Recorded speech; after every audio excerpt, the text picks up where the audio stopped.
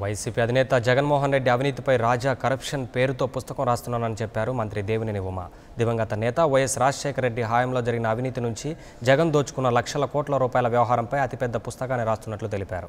ఇక పుస్తకంలో కొంత భాగాన్ని ఇప్పటికే రాశానని మరికొంత భాగాన్ని త్వరలోనే పూర్తి చేస్తామన్నారు.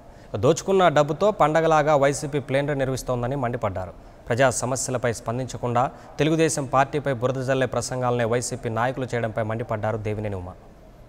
రాజశేఖర రెడ్డి గారు ముఖ్యమంత్రిగా ఉండగా ఐదున్నర సంవత్సరాలు ప్రజల సొమ్ము దోపిడీ చేసుకుంటే కాంగ్రెస్ ప్రభుత్వ హయాంలోనే రాజ్యాంగ వ్యవస్థలో సిబిఐ ఎన్ఫోర్స్మెంట్ డైరెక్టరేట్ కేసుల్లో పదమూడు కేసుల్లో ఏ వన్ ముద్దాయిగా వైఎస్ జగన్మోహన్ రెడ్డి గారు ఏ టూ ముద్దాయిగా విజయసాయి రెడ్డి గారు రాజ్యసభ సభ్యులు ఒక ఆయన ప్రతిపక్ష నాయకుడు ఒక ఆయన రాజ్యసభ సభ్యులు వీళ్ళిద్దరూ వీళ్ళిద్దరి నాయకత్వంలో ఇవాళ వైఎస్ఆర్ కాంగ్రెస్ పార్టీ ప్లేనరీ జరుగుతుంది more updates please subscribe subscribe 99 TV Telugu.